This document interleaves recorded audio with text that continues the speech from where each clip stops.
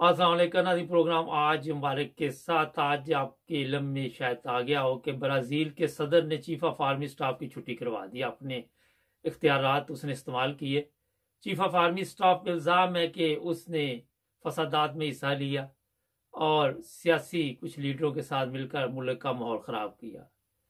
25 मई को हमारे chief of army staff उस वक्त के जो कमरजीत बाजवा थे, उन पर भी ये इल्ज़ाम था कि साहब बहादुर ने ये कार्रवाई सारी वहाँ से की। हमारे सदर के पास क्या अख्तियार नहीं थे। और फिर वज़ीर आज़म को भी घर भेजने में हमारे उस वक्त के जो चीफ ऑफ़ आर्मी स्टाफ थे उन्होंने जो कार्रवाई डाली आज मुल्क कहाँ पे पहुँच गया? लोग कितने परेशान हैं? उसका अंदाज़ा जो पाकिस्तान में गरीब लोग हैं वो ज़्यादा लगा सकते हैं। राना अब्दुल रजाक साहब हमारे साथ होंगे। राना साहब ये बताइए कि हमारा जो सदर है पाकिस्तान का वो भी कोई चीफ ऑफ़ आर्मी स्टाफ की छुट्टी करवा सकता है उसके पास ये पावर है? पावर है मगर जब भी वो हुक्म देगा उसी दिन मार्शल लग जाएगा। नहीं ये ये कैसी पावर है कि उसी दिन मार्शल लग जाएगा जब वो उसकी छुट्टी करवाने लगेगा ये ऐसे ही है कि किसी कमज़ोर जानवर को जंगल का बादशाह बना दें और बादशाह शेर की जारी रहे। पाकिस्तान में यही हालत है। फौज के पास ताकत है ऑर्गेनाइजेशन है, सारा फंड सारा बजट पाकिस्तान का वही खा जाती है। छह लाख फौज हमने पार रखी है। सियासी लीडर जो होते हैं, वो पुतली तमाशा होते हैं इनके। सियासी लीडर कोई ताकतवर नहीं आया हमारे मुल्क में, आज तक नहीं आया। ना आएगा।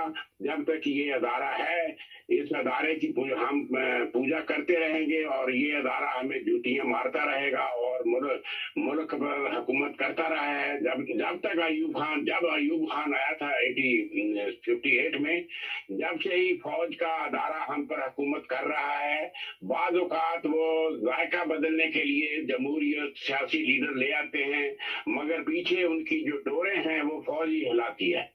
राना साहब, एक और चीज़ है कि हमारे जेहन में ये चीज़ बैठी हुई है कि अगर फौज ना होती तो पाकिस्तान ना होता। लोगों को ये दिमागों में बैठा दिया गया है। और शायद इसी वजह से आज तक हमारे तल्लत हिंदुस्तान से भी ठीक नहीं हो सके। ऐसी बात नहीं है। पाकिस्तान एक वकील ने बनाया था, एक सियासतदान ने बनाया था, फौज ने नहीं बनाया। फौज बाद में आई है और फौज को हमने की पूजा शुरू कर दी है। फौज हुकूमत नहीं कर सकती, फौज का कोई हक नहीं, उसका काम है हिफाजत करना। मगर यहाँ हमारे यहाँ नालायक और कमज़ोर, बद अखलाक, बद किरदार सियासतदान और लीडर आए।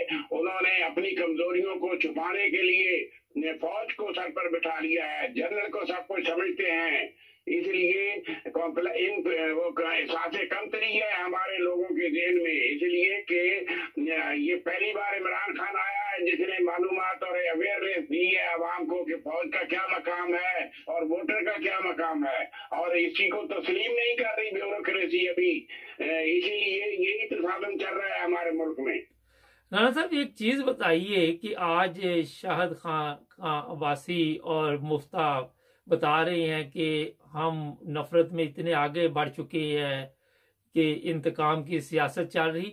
इनको इस उम्र में जाके होश आई। ये तो पिछले तीस साल से ये इंतकाम की सियासत चल रही। कभी बेनजीर की तस्वीरें फेंकी जाती है, कभी किसी की वीडियो निकाली जाती है, कभी किसी को तशद का निशाना बनाया जाता है। तो जब ये मरने लगे हैं, बूढ़े हो गए हैं तो अब लतीफ खोसा और ये सब आके तो ये प्रेस कॉन्फ्रेंस कर रहे हैं तो आप क्या समझते हैं कि इससे दूसरे लोगों को कोई सबक हासिल होगा?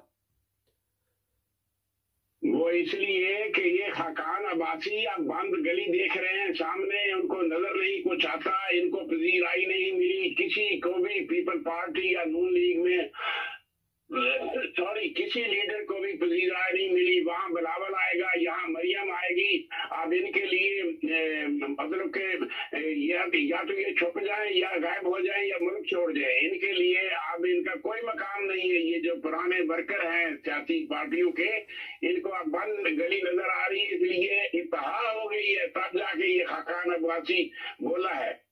राना साहब, ये मुझे बताइए, बड़ा एक अहम मसला, इसमें आप समझते हैं कि वाम में जो शौर है, उनकी नफरत जो देख रहे हैं, ये अपने मतलब सोशल मीडिया पे और मुख्तलिफ़ जलसों, जलासों पे चोर चोर के नारे, उससे भी कोई फ़र्क पड़ा?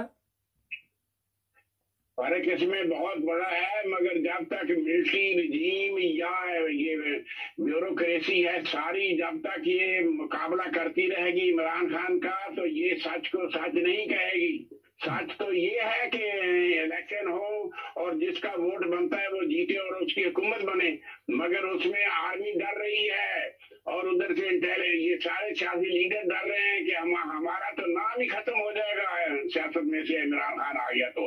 अब इस खौफ से ये सारा तसादम हो रहा है और ये तसादम यकीन अगर ये बाज ना आए तो ये खाना जंगी की तरफ़ जाएगा, गलियों में लड़ाई होगी, कूचों में लड़ाई होगी और फौज की वर्दियाँ फाड़ी जाएँगी, तब जाके पाकिस्तान आज़ाद होगा।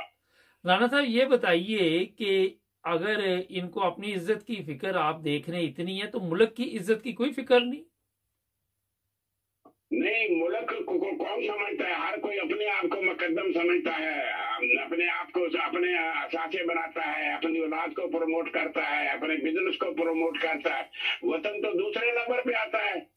हालाँकि हजूर पाक सल्लल्लाहु ने फरमाया वतन जो है वो ईमान का हिस्सा है मगर इनमें ईमान हो तो फिर इनमें हिस्सा है वतन का इनमें तो ईमान ही नहीं है इनमें इस्लाम नहीं है इनमें कुरान नहीं है इनमें इंसानियत नहीं है इनमें तो कोई भी दुनिया का जो असूल होता है अखलाकी वो नहीं है इनके तो सारे जनरल शराबी थे और ये लीडर भी सारे शराबी हैं ये कहाँ है ये, ये तो लोग ही नहीं है इंसान इनको नहीं कहा जा सकता मांगते फिरते हैं सारी दुनिया में राना साहब एक वाक्य पेश आया लाहौर में, तीन लड़कियों ने एक लड़की पे हमला किया। पता चला कि मुसद्दक मलक की वो भतीजी है सोशल मीडिया पे इस वक्त चल रहा है। तो उसकी, उनकी जमानतें होगी, सब कुछ होगी। आप क्या समझते हैं कि ये अदालतें भी हमारा एक मज़ाक बनी हुई है मुल्क के लिए, कवानीन के लिए, ये सब कोई तमाशा अदालतों में शुरू होगा अदालतों में भी चल रहा है? हमारी अदालतों ने ही बेड़ागर किया है मुल्क का जब भी कोई ला कानूनियत आती है तो अदालतों की वजह से आती है। नज़रिया ज़रूरत के मुताबिक आती है। जज बिके हुए हैं और जज फौज के बगैर बिल नहीं हिल नहीं सकते। इनके बच्चे अगवा हो सकते हैं, इनको नुकसान हो सकते हैं, इनके साथे जबत हो सकते हैं। ज़बरदस्त अदारा जो मज़बूत है, वो फौज है। और ये जनरल है जर्नैल है, या दूसरे लोग हैं सियासी लीडर हैं, ये सारे डरते हैं फौज से। और फौज की तो अभी छह लाख फौज है, हमें क्या फौज की ज़रूरत है? हम मिसाइल हमारे पास है अचानक एनर्जी हमारे पास है। छह लाख फौज रखने की क्या ज़रूरत है? नब्बे फ़ीसद बजट आपका फौज खा जाती है। तो उधर से ना सेहत है, ना तालीम है, मुल्क में इंफ्रास्ट्रक्चर सारा खराब हो गया है। पैसे सारे फौज खा जाती है। इसमें नजरसानी करने की ज़रूरत है, मगर फौज कौन कहेगा बजट काम करे? कौन कहेगा इतना माई का लाल है कोई? लेकिन जब आपको बाहर से इमदाद अब नहीं मिलेगी तो पैसे नहीं बैंकों में आएँगे, ना लोग फिर आप समझते कि लोग जो, जिनके पैसे बैंकों में पड़े, वो भी खतरे में? बेशक है पाकिस्तान के पास पाकिस्तान की कौम पर या हुकूमत पर कोई यकीन नहीं किया जा सकता। एक बार इन्होंने कोऑपरेटिव बैंकों के हमारे साहब के पैसे थे, वो खा गए थे, ये नवाज़ शरीफ और फूल खान। हम्म। तो राना साहब, ये बताइए कि एक चीज़ आप देख रहे हैं कि इलेक्शन ये कुछ सबाई करा लेंगे या सब ये तमाशा कर रहे हैं डबल गेम डाल रहे हैं? ऐसे चीज़ें भी ढूंढ रहे हैं आइन में कि किसी तरह ये इलेक्शन मुलतवी हो जाए। मैं कह रहा हूँ तसादम होगा और खाना जंगी मुल्क में हो जाएगी। इन लोगों ने जो निगरान सेटअप आएगा, इन्होंने इंसाफ नहीं करना, सारे चोर ऊपर मसलत किए जा रहे हैं मौसम नकवी जैसे तो ये तसादम होगा। जब वोट सही काउंट नहीं होगा सही वोट सही तरफ़ नहीं जाएगा तो तसादम होना है। गलियों में तसादम होगा। राणा साहब, कल मैं एक सोशल मीडिया पे वीडियो देख रहा था। एक मजदूर आदमी था, कहता, मेरी बैसाखी चोरी करके कोई ले गया तो मुझे कोई बैसाखी ले दे जिससे मैं चल सकू ना?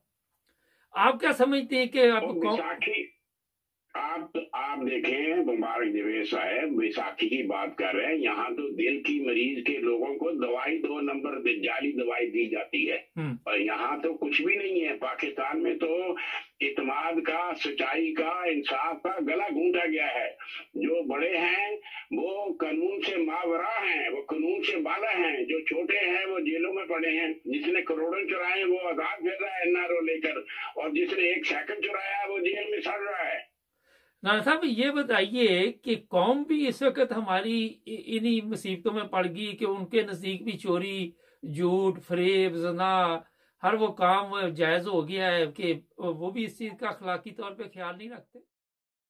इस गुनाह में मुलवस है या ये कारकुन बन चुकी है बुरे लोगों की कौम पर अदाब जब ही आता है जब सारी मुलवस हो जाए। सामने चोरी हो रही है गवाही नहीं कोई देता, कोई जना हो रहा है या जुल्म हो रहा है कोई उसकी गवाही नहीं देता।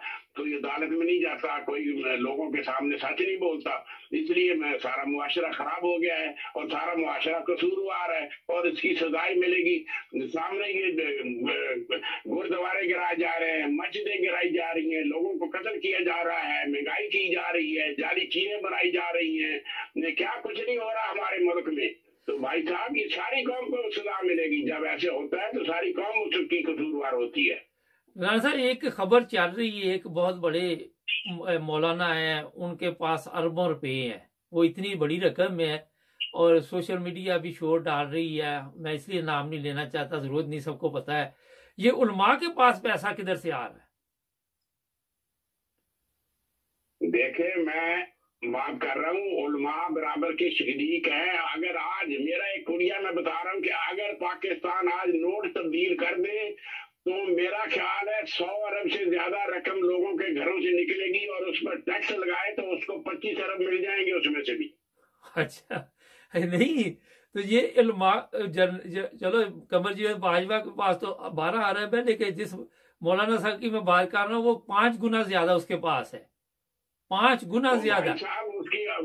तबलीगी जमात के उनकी बात कर रहे हैं उनंजा अरब निकले उनके अकाउंट में से ये हमारे मौलाना हैं जो कहते दुनिया के पीछे मत जाए दीन के पास पीछे रहे मस्जिदों में जाए दुआएँ करें हकूक बाद अदा करें और खुद क्या कर रहे हैं ये लोग? नहीं तो अवाम जो जिनको ये दुआ पे लगाते हैं वो यही दुआ करते हैं कि इनके पास इतने अरब निकल आए। हजूर पाक सल्लल्लाहु अलैहि वसल्लम ने इसीलिए तो कहा है कि ये जो आखिरी जमाने में उलमा होंगे ये बदतरीन कौम होंगे।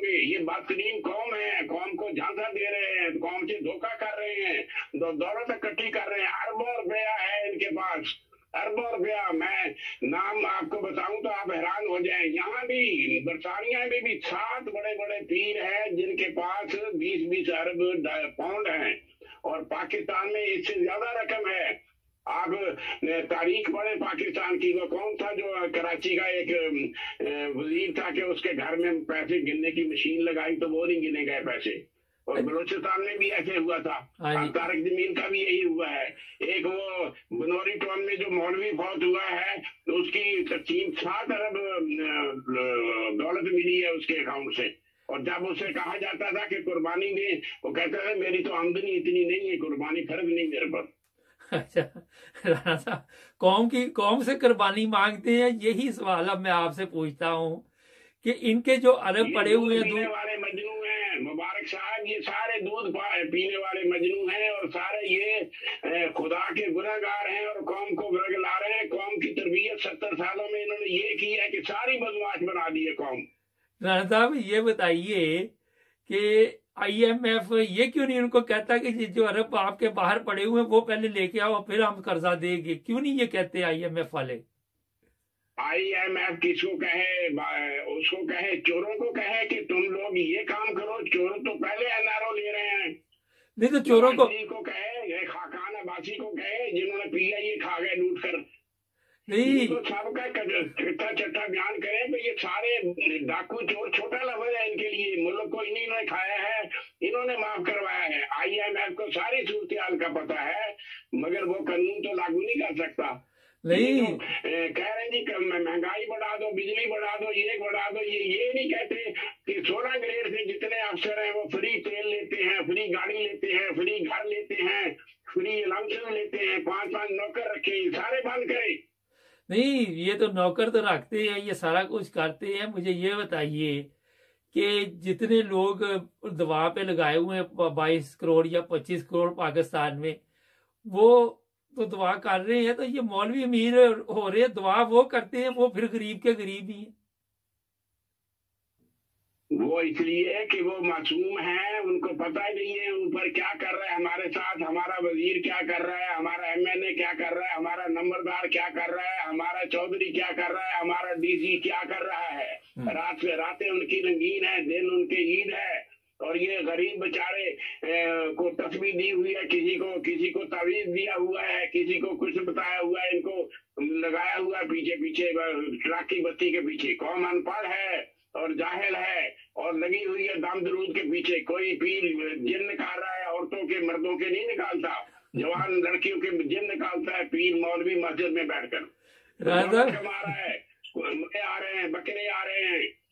ये हमारा निज़ाम है हमारे मुल्क का। नहीं तो वो जो दुआ कर रही हैं वो इसका मतलब अपना उनको इसी चक्कर में रखा हुआ है और उनको इस्तेमाल करते हैं। अच्छा राणा साहब ये भी मेरे पास इतला है कि गरीब लोग खुद वो रोटी नहीं खा सकते जो इन उलमा को पेश करते हैं, इन पीरों को करते हैं जो जिन निकालते हैं। तो ये कैसे का सिस्टम है कि मेरी बात सुने जिस आदमी का एहतराम किया जाता है पीर का हो या कोई बुज़ुर्ग हो तो इंसान कोशिश करता है खलूस दिल से जो बंदा नेक है या वो नेकी खलूस रखता है तो अपने से बेहतरी खुराक देता है ना वो पीर को दे मेहमान को दे अपने बुज़ुर्ग को दे। तो ऐसे ही होता है ना महबूब महबूब या प्यारे को तो अच्छी चीज़ पेश की जा सकती है। फितरत है हमारे लोगों की हमारे लोग बेचारे अवाम बहुत नेक और अच्छे हैं, मगर इस जो बड़े तबके ने ये दरमियानी तबका है, जो सू का इन्होंने बेड़ा घर कर दिया है। इनको कॉलो फैल में तजाद है, इनका किरदार गंदा है। वो एक मौलवी अब्दुल अज़ीज़ लाल माजिल वाला, वो कहता था, यजीद सलाम कहा करे? वो और कहता था कि तालिबान शहीद होते हैं, हमारी फौज हराम मौत मरती है। वो भी आबाद है पाकिस्तान में, वो भी ज़िंदा है वही। और वो मौलाना समील हक जो एक लौंडे ने मारा है, वो भी दस हज़ार मदरसे का वारस था, वो भी इनका मौलवी है। तो इसी तरह काजी हुसैन अहमद तीन साल जेल काट आया लूती काम, कौम में सवात में, इनका नहीं पता जमात इस्लामी का अमीर था वो। जब हमारे अमीर, हमारे निगरान, हमारे लीडर बद किरदार होंगे तो कौन से क्या तो रखते हैं आप? राणा साहब, इसका मतलब कौम सही सजा भुगत रही है, आटे की लाइनों में लगी हुई, आज मुझे भी किसी ने वीडियो भेजी कि एक आटे का थैला खींच रही हैं, बड़ी मुझे वो खौफनाक वीडियो लगी, अब मैं चला नहीं सकता क्योंकि लोग देखेंगे। तो कौम को फिर इसका मतलब ठीक लाइनों में लगी हुई है, कौमों को ठीक सजा मिल रही है। अल्लाह ताला से माफ़ी माफ़ी मांगनी चाहिए। वो कहार भी है जब बार भी है। जब वो अजाब देने पे आता है तो पत्थरों की बारिशें होती हैं। ये कौम कौम में उन सारी बनी इसराइली कौमों के आद और समूद की सारी बुराइयाँ इनमें आ गई हैं। कम तोलते हैं, झूठ शराब पीते हैं लोगों का हक खाते हैं लोगों की बेटियों से बुरा सलूक करते हैं मस्जिदों से चोरी करते हैं काबे में जाकर जेबे काटते हैं ये लोग। इस हादसा की ये दलील हो चुके हैं अजाब इन पर खुदा ना करे कि अजाब आए मगर खुदा ताला तो अजाब लाता है बुराई बुरी कौमों पर लूत पर अजाब आया इसराइल पर मनी इसराइल पर अजाब आए आदो समूद पर अजाब आए तो ये कहाँ की कौम है कि नहीं आएगा आएगा इन पर अजाब यकीन आएगा अगर इन्होंने अपना अमल सही ना चुके हैं वो नवाज़ शरीफ ने करवाया है। उसके साथ इंटेलिजेंस और ये ब्यूरोक्रेसी ये हुकूमत रजीम जो नहीं आई है मिली हुई है। मुझे मुझे ये बताएँ जिसकी हुकूमत है वो अपने खिलाफ कोई फैसला आने देगा? वो अपने खिलाफ तफ्तीश होने देगा? वो हम्म। सारे मिले हुए हैं। इसलिए ये पता चल रहा है इमरान खान के वक्त में कि हुकूमत का चेहरा असली क्या है? असली चेहरा देखते जाएँ। वो इलेक्शन कमिश्नर क्या कर रहा है? इलेक्शन का जो है वो देखे ना क्या कर रहा है मोहसिन नकवी को बना रहा है इधर बना रहा है। सारे जितने डाकू हैं उनको गुजरा आला बनाकर ये इलेक्शन को किडनैप करेंगे मगर नहीं होने देगा इमरान खान अगर खुदा का साथ उसके साथ हुआ तो। बहुत शुक्रिया राना साहब। थैंक यू बाईस पच्चीस करोड़ वहाँ में एक वज़ीर अला ढूंढना मुश्किल हुआ है ईमानदार बंदा ही नहीं है। ये हालत है हमारी। ईमानदार आदमी ढूँढने के लिए आपको ये भी होता है कि हमें बाहर से मंगवाना पड़ता है। वो भी काम डाल जाता है। देख लें, अब मुल्क किधर जा रहा है। राना साहब की बातें तो ठीक है कि कौन को सजा मिल रही है। आज आटे की लाइनों में लगे हुए आज बिजली, गैस, पानी, कुछ भी आपके पास नहीं है। तो सोचना तो चाहिए ना। ना जी हमारे चैनल को सब्सक्राइब करें, जुड़े रहें।